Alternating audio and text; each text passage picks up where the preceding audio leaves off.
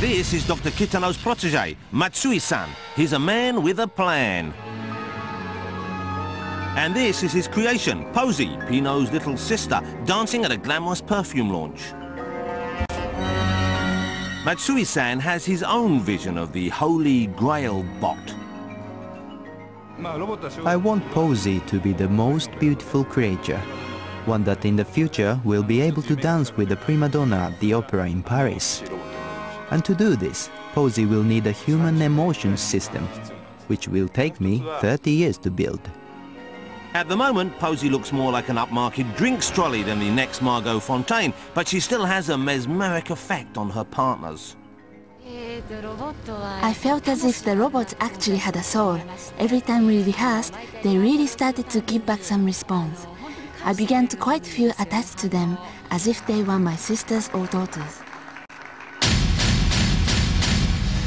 If Matsui-san's appeal to the heartstrings fails, he'll conquer by fear.